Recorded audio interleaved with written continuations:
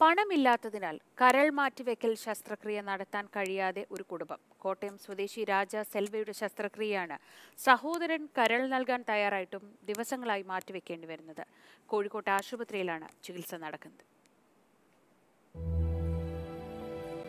കഴിഞ്ഞ അഞ്ചു വർഷത്തോളമായി കോട്ടയം സ്വദേശി രാജ സാൽവ എന്ന മുപ്പത്തേഴുകാരൻ ഈ കിടപ്പിലാണ്.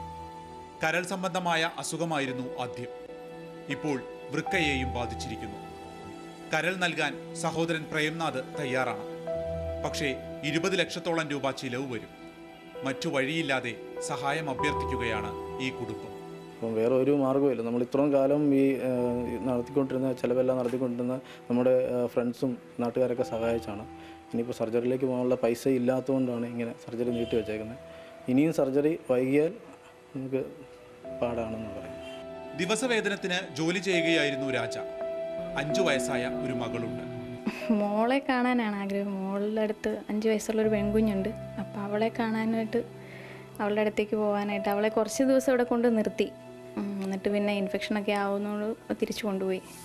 വളരെ പെട്ടെന്നാണ് ഈ കുടുംബത്തിന്റെ എല്ലാ സന്തോഷവും കെടുത്തി അസുഖങ്ങൾ കരിനിഴലായി വന്നത്. പണമില്ലാത്തതിനാൽ രണ്ടു തവണ ശസ്ത്രക്രിയ നിശ്ചയിച്ച് മാറ്റേണ്ടി വന്നു.